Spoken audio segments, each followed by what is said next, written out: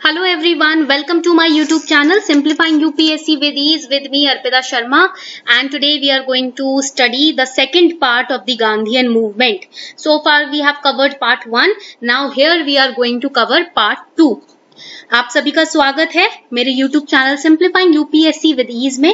और आज हम पढ़ेंगे गांधीयन मूवमेंट्स का पार्ट टू सुबह हमने पढ़ा था लाइव क्लास में पार्ट वन अब हम पढ़ेंगे part two so good evening every if you have any doubts regarding the class नीचे कमेंट सेक्शन में लाइव चैट के थ्रू आप मुझे बता सकते हैं। और आपके डाउट साइड बाय साइड जो सॉल्व हैं, वो होते चले जाएँगे। जो सॉल्व करने लायक डाउट्स हैं, वो सब सॉल्व करते चले जाएँगे हम लोग। तो आइए शुरू करते हैं आज की क्लास से। I guess everybody is ready everybody knows the class format we are going to understand in both Hindi and English first I'll explain in English then I'll explain it back in Hindi दोनों ही हिंदी और English medium students के लिए class specially design की गई है। पहले English में समझाया जाएगा, फिर हिंदी में उसी चीज़ को ट्रांसलेट किया जाएगा। And class notes will be in English class के नोट्स इंग्लिश में ही मिलेंगे right now basically Chauri Chaura incident से हम शुरू करेंगे सबसे पहले।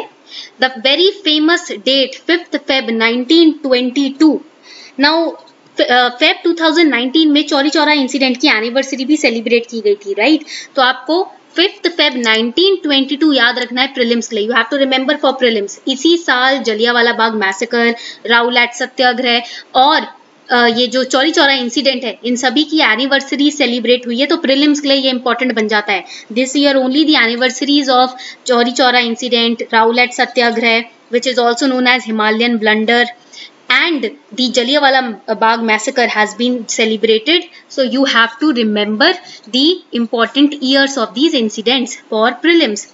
The Chauri Chaura incident is a very crucial and decisive moment in the history of freedom struggle. So it becomes a very important past part of your history syllabus. And also this incident and the reaction of Mahatma Gandhi ji gives a deep insight into the workings of Gandhi mind and his ideology इसी incident के बाद महात्मा गांधी जी के philosophy उनके principles उनकी सोच के बारे में लोगों को आइडियोलॉजी के बारे में ज़्यादा बेहतर नॉलेज होने लगी राइट right? तो इसलिए ये जो इंसिडेंट है, ये जो चौरी चौरा का इंसिडेंट हुआ था, बहुत ज़्यादा इंपॉर्टेंट बन जाता है आपके प्रिलिम्स के लिए चौरी चौरा इंसिडेंट जो है वो हुआ था फिफ्थ फेब 1922 के दिन। इस दिन हुआ क्या था कि नॉन कोऑपरेशन मूवमेंट के आपने पहले लास्ट क्लास में हमने लास्ट पढ़ा था नॉन कोऑपरेशन मूवमेंट राइट तो नॉन कोऑपरेशन मूवमेंट में जो असहयोग आंदोलन चला था कि हम ब्रिटिशर्स के साथ बिल्कुल सहयोग नहीं करेंगे उनकी हर बात को नाका, नकारेंगे राइट तो इसी time non cooperation movement non violent रखना चाहते थे महात्मा गांधी जी बट हो गया था वायलेंट ओके अब जब ये वायलेंट मूवमेंट बन गया, बहुत ही खून खराबा होने लगा, मारपीट होने लगी तो इस मूवमेंट में जो पुलिस ऑफिसर्स हैं, उन पे लोगों ने अटैक करना शुरू कर दिया, क्योंकि लोगों का मानना ये था कि जो पुलिस ऑफिसर्स हैं, ये ब्रिटिशर्स के शासन को लागू चलाते हैं यहाँ पर, उनके उनके रिप्रेजेंटेटिव हैं राइट और पुलिस में ही काफ़ी इंडियंस भी भर्ती थे। तो पुलिस के ऊपर अटैक करना लोगों ने शुरू कर दिया। पुलिस स्टेशन जलाने शुरू कर दिए राइट जिससे कि 22 पुलिसमैन मारे गए राइट और तीन जो पुलिसमैन नहीं थे, सिविलियंस थे, उनकी भी डेथ हुई। कहाँ पर? चौरी चौरा में। चौरी चौरा कहाँ पर है? गोरखपुर डिस्ट्रिक्ट में है, उत्तर प्रदेश के गोरखपुर डिस्ट्रिक्ट में। उत्तर प्रदेश को ब्रिटिश इंडिया में यूनाइटेड प्रोविंसेस के नाम से जाना जाता था।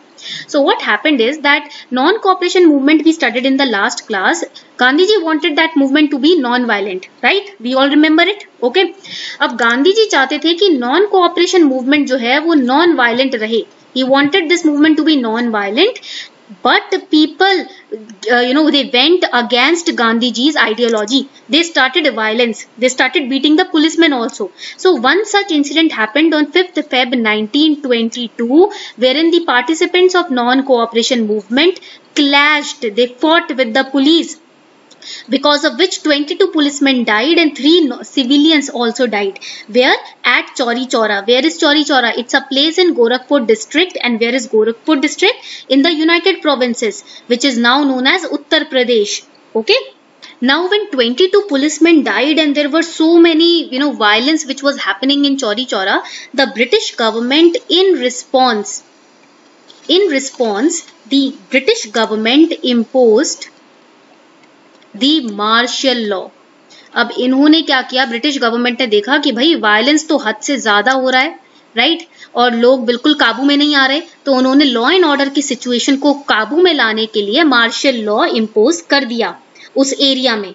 And under this martial law hundreds of the people were arrested सौ से ऊपर लोगों को अरेस्ट कर लिया गया right remember this and in this very same incident during the very same time gandhi ji also went on a fast for five days after this incident for his role in the event Gandhi ji अपने आप को guilty feel कर रहे थे guilty मान रहे थे। उनको लग रहा था कि मैं मैं अगर नॉन कोऑपरेशन मूवमेंट को और सही तरीके से चलाता तो शायद ये वायलेंस ना होता। अगर मैंने सही तरीके से लोगों को समझाया होता कि हिंसा ना करे तो शायद ये चीज़ ना होती। तो 22 पुलिसमैन और तीन लोग उनके भी मारे गए थे। नॉर्मल जो सिविलियंस थे वो भी मारे गए थे।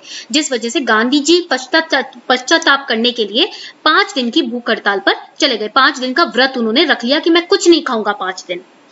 And finally he withdrew he cancel the movement non cooperation movement he called it off on twelfth Feb 1922 12 फरवरी 1922 में 1920 में शुरू हुआ था।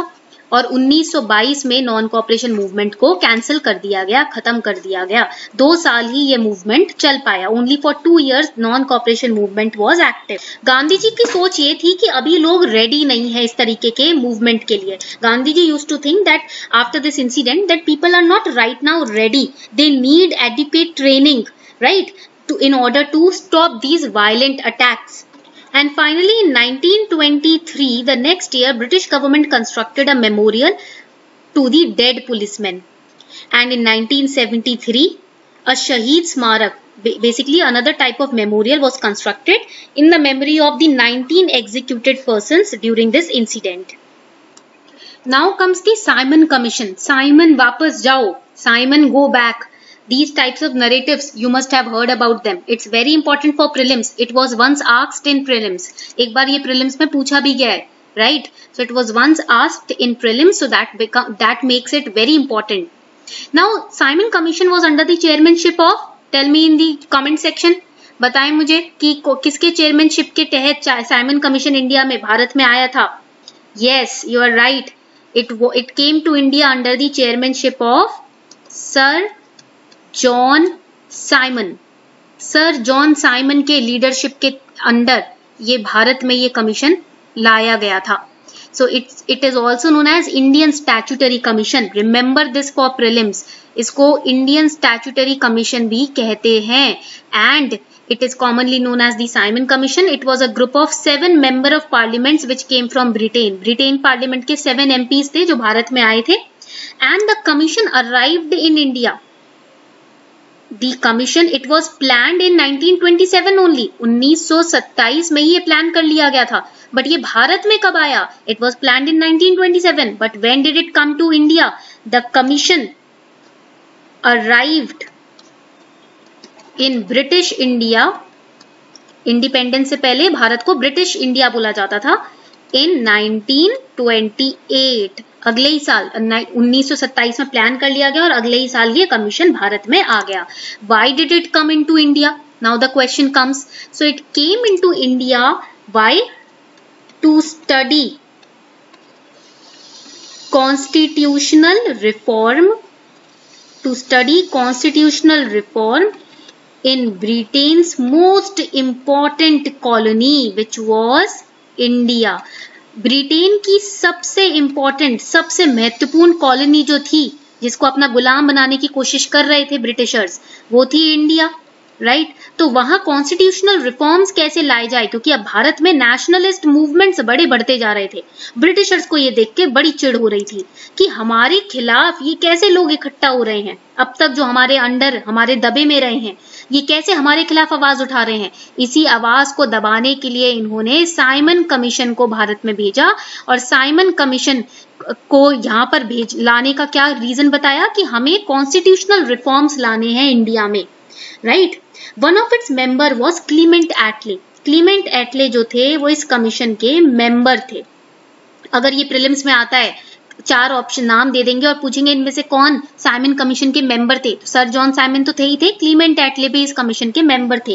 We have to remember who became committed to Indian independence by 1934 and achieved that goal as prime minister in 1947 in the granting of independence to India and Pakistan. जब भारत को independence मिली थी उस वक्त prime minister कौन थे Clement Attlee. So at the time of introducing the Montague Chelmsford reforms in 1919 also, British government declared that commission would be sent to India. अब हुआ क्या Montague Chelmsford have, you can write it down. ये reforms 1919 में लागू किए गए थे right these reforms were implemented in 1919 और इन रिफॉर्म्स में से एक रिफॉर्म ये था कि हमें कॉन्स्टिट्यूशनल संवैधानिक रिफॉर्म्स संवैधानिक चेंजेस भारत में लाने हैं राइट right? तो उसके लिए एक कमीशन बनाना पड़ेगा। मॉन्टेग्यू कैम्सफोर्ड रिफॉर्म जो 1990 के अनाउंस किए गए थे ना, उसके, उसी के तहत कॉन्स्टिट्यूशनल रिफॉर्म की बात की गई थी। अब कॉन्स्टिट्यूशनल रिफॉर्म के लिए कमिटी बनानी पड़ेगी। For constitutional reforms we have to make a committee this was said by the british government. So, british government declared that a commission would be sent to india. British government ने कहा कि एक commission हम भारत भेजेंगे। Commission will be sent to India after ten years to examine the effects and operation of constitutional reforms ये जो reforms पास किए हैं, किए किए गए हैं, इसके क्या असर है भारत पे? किस तरीके के चेंजेस भारत में आए इस रिफॉर्म को लाने के बाद? वो स्टडी करने के लिए कमीशन भारत में आएगा। And in November 1927 British government appointed Simon commission main year is 1927 Simon commission को अपॉइंट तो 1927 में ही किया था। भारत में ये कमीशन आया था 1928 में। Okay so in 1927 November 1927, the commission was appointed, but it came to India in 1928 only. Okay. The commission was strongly opposed by many in India. Bharat में ये बोला गया कि ये बस हमें पागल बनाने का एक टैक्टिक है ब्रिटिशर्स का राइट right? तो इसलिए हम इस कमीशन को यहाँ भारत में आने ही नहीं देंगे। Commission was oppose because it had seven British MPs अब भारतीयों ने बोला, भाई, इसमें तो सातों के सातों ब्रिटिशर्स ब्रिटिश एमपीज हैं। भारत की भारत की तरफ़ से तो कोई भी रिप्रेजेंटेटिव है नहीं है तो हमारा अपमान हुआ। हमारे ही भारत में, हमारे ही कंट्री में रिफॉर्म्स लाने के लिए हमारा भी एक इंसान कमीशन में शामिल करना चाहिए। हमें तो ले ही नहीं रहे कमीशन में। और खुद ही अपने मन से जो भी आपको रिफॉर्म्स लाने हैं, वो कर रहे हो, जो आपको सही लग रहा है, वो कर रहे हो। हमारी पार्टिसिपेशन कहाँ गई? Right this is our country you are talking about constitutional reforms in our country and you are not having even one single Indian in this commission in this committee in this commission right so Indian saw it as a violation to their right of self determination and insult to their self respect अब Indian nationalist leaders को लगा कि ये तो भाई हमारी साफ़ साफ़ मुँह पर बेजती हो रही है। ये लोग हमें इस लायक ही नहीं समझते कि हम अपने भारत में किसी तरीके के रिफॉर्म्स ला सकें। राइट? या रूल कर सके so prominent Indian nationalist Lala Lajpat Rai you must have heard about him right he led a protest in Lahore इन्होंने लाहौर में एक प्रोटेस्ट शुरू कर दिया इसके खिलाफ and he suffered a police beating also during the protest और Britishers इतने क्रूर थे उन्होंने सिर्फ़ लाठियों से लाला लाजपत राय पे वार कर करके उनको मृत्यु के घाट उतार दिया। Lala Lajpat Rai during the protest in Lahore against the Simon Commission he died because of the police beating on 17th November 1928 1928 17 नवंबर 1928 के दिन लाला लाजपत राय की मृत्यु हो गई। राइट? तो ये बहुत ही ज़्यादा दर्दनाक चीज़ थी, बहुत ही ज़्यादा क्रूअल, आप कह सकते हो, क्रूअल्टी थी ब्रिटिशर्स के पार्ट पर। Now these important points you have to remember about the Simon commission lord Birkenhead he was responsible for setting up of the commission इस कमीशन को सेटअप किसने किया था लॉर्ड बर्केन हेड ने Clement Attlee जो थे इस कमीशन के मेंबर थे Clement Attlee was the member of commission later on he became became the Britain prime minister also at the time of partition of India and then this report Simon commission they submitted a report अब ये जो commission थी, यहाँ पर आई थी, उन्होंने पूरा study किया, क्या चल रहा है भारत में, और उसके बेसिस पे एक रिपोर्ट पब्लिश करी, जो कि 1930 में पब्लिश हुई। This report was published in 1930 according to this report dominion status for India was given India को डोमिनियन स्टेटस दिया गया। It also recommended the abolition of dyarchy और प्रोविंसेस के लिए सेपरेट गवर्नमेंट बनाने की बात की गई। It also talked about setting up of representative government in the provinces and also the retention of separate communal electorates because of the Hindu and Muslim clashes. Government of India Act 1935 was also passed after this commission submitted the report. इस commission ने जब report submit करी तो Government of India Act 1935 भी pass हुआ जो कि हमने political lectures में पढ़ा है. Now here after this commission submitted the report and went back जब इस कमीशन ने अपनी रिपोर्ट सबमिट कर दी, उसके बाद पहले प्रोविंशियल इलेक्शंस हुए इंडिया में 1937 में, जिसमें कांग्रेस की बहुत ज़्यादा भारी जीत हुई right Congress won this election provincial level पर 1937 में इलेक्शंस हुए पहली बार इंडिया में. This is again very important fact for prelims because elections were going on तो इसलिए इलेक्शन से रिलेटेड हिस्टोरिकल क्वेश्चंस भी पूछ लिए जा सकते हैं. First provincial elections in India were conducted in 1937 Now comes the Nehru report, the very famous report of 28 to 30th August 1928. It was a memorandum outlining a proposed new dominion status for the Constitution of India. Now when the British Britishers gave India the dominion status अब Britishers ने भारत को Simon commission के report के तहत एक dominion status दे दिया था right right? इसी के बाद नेहरू रिपोर्ट पब्लिश हुई now what is dominion status status it's a title ये डोमिनियन स्टेटस है क्या? ये टाइटल है, जो कि उन ब्रिटिश कॉलोनीज को दिया जाता है, जो कि सेमी इंडिपेंडेंट है, यानी कि आधा रूल ब्रिटिशर्स कर रही है उनपे और आधा रूल उन कंट्री का खुद का है अपने ऊपर right so half they are ruled by the Britishers half they are ruling themselves so it is known as the dominion status so when India was given this status Nehru report was publish जैसे ही भारत को dominion status दिया गया, एक Nehru report तैयार किया गया। Now ये जो नेहरू रिपोर्ट है, इसकी जब बात होती है when we talk about the Nehru report this report was prepared ये जो रिपोर्ट है, ये किसने प्रिपेयर की थी? It was prepared by a committee अब रिपोर्ट्स तो एक इंसान प्रिपेयर करेगा नहीं कमिटी प्रिपेयर करती है. It was prepared by the committee of the all parties conference all party conference जो थे, जिनके चेयर चेयरमैन कौन थे? जिनके लीडर कौन थे? मोतीलाल नेहरू। जवाहरलाल नेहरू नहीं, Motilal Nehru. Remember this the father of Jawaharlal Nehru ji with his son Jawaharlal Nehru. This is very very important who was the chairman of the all parties conference in nineteen twenty eight who publish the Nehru report it was Motilal Nehru ji okay remember this for prelims अगर पूछा गया Nehru report जिस committee ने publish की थी, या जिस committee ने तैयार की थी, उसके चेयरमैन चेयर लीडर कौन थे? मोतीलाल नेहरू जी थे। ठीक है? And Jawaharlal Nehru ji was the secretary Jawaharlal Nehru ji इस कमिटी के सेक्रेटरी थे। And there were total nine other members नौ और मेंबर्स थे इस कमेटी में।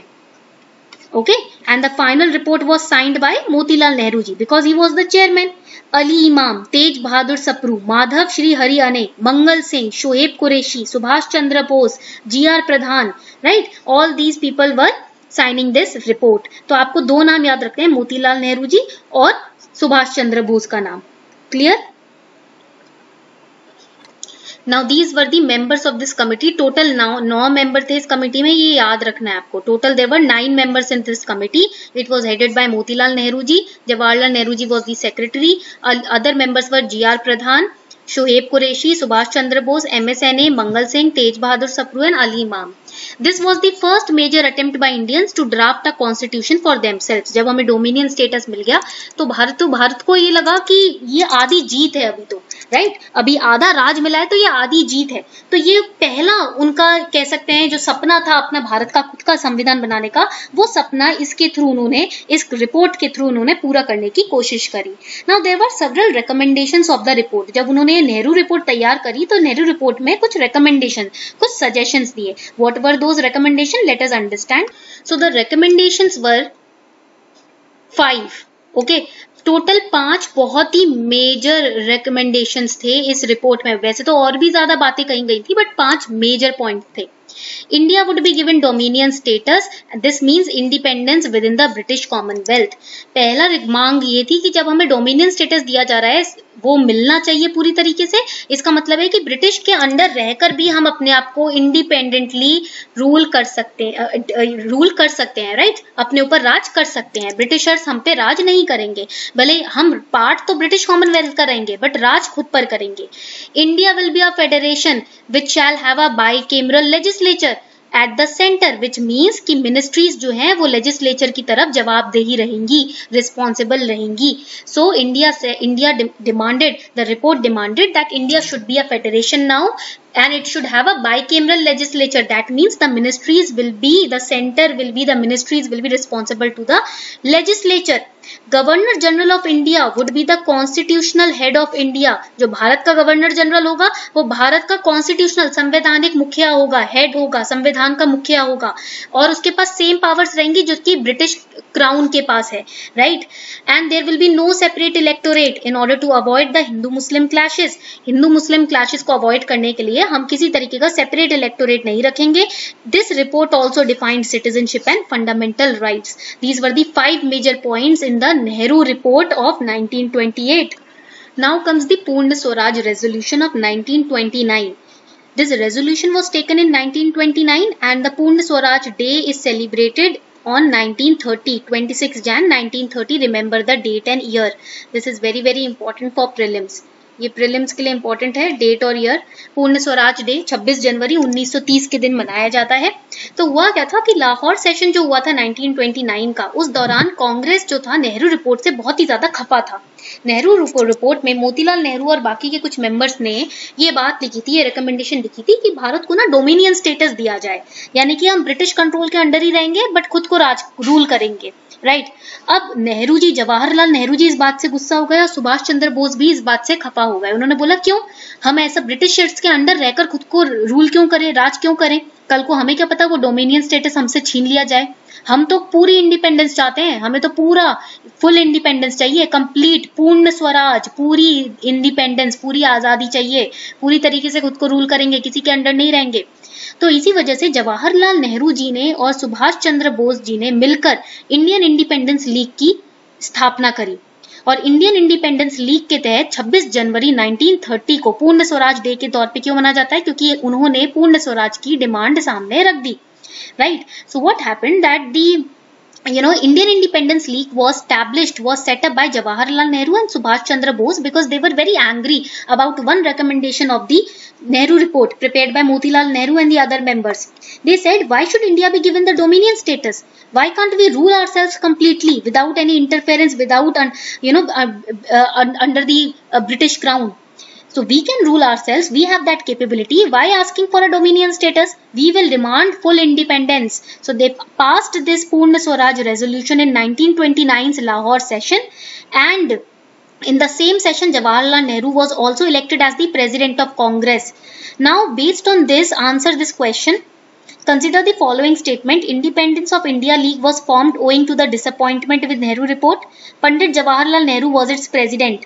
Which of the following statement is or are correct कौन सी स्टेटमेंट करेक्ट है?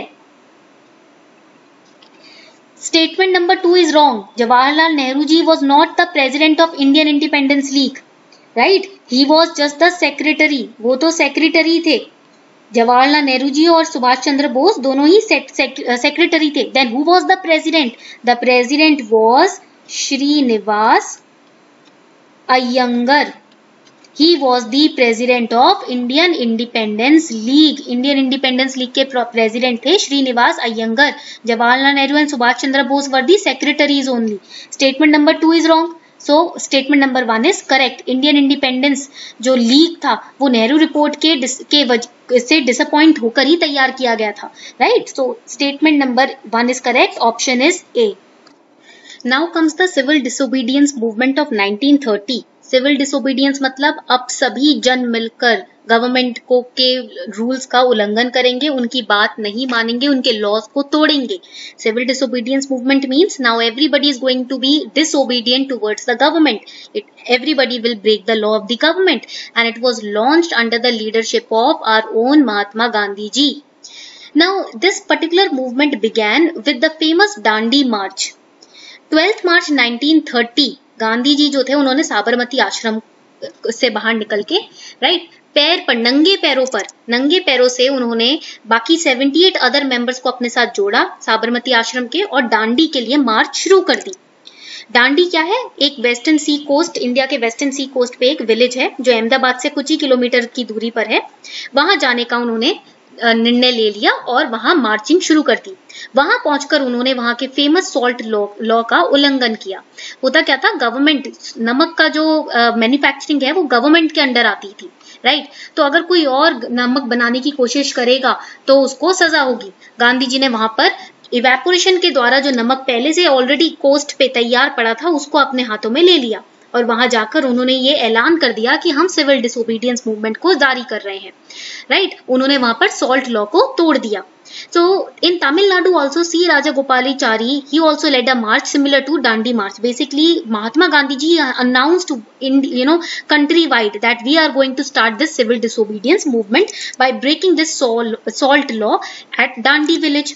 So in Tamil Nadu also C. Rajagopalachari, he also started this similar move, um, uh, you know march and in Dharsana that is in Gujarat Sarojini Naidu also led the non violent satyagrahi in a march to salt deposits owned by the government in order to break the salt law and start the civil disobedience movement because of which in November 1930 British government convened it called it organise the first the very first round table conference सबसे पहला round table conference British government ने बुलाया 1930 में, जब सभी लोगों ने मिलकर लॉ का उल्लंघन करना शुरू कर दिया। And this was the part 2 of Gandhian movements. We will continue in the part 3. ये था आपका part 2 और अब बाकी का first RTC Gandhi Irwin pact second RTC communal award ये सब हम part 3 में पढ़ेंगे right I hope you enjoyed the class सभी को class पसंद आई सभी ने enjoy किया right if you enjoyed the class do not forget to subscribe do not forget to like the lesson okay and do not forget to share the lesson as well मिलते हैं next class में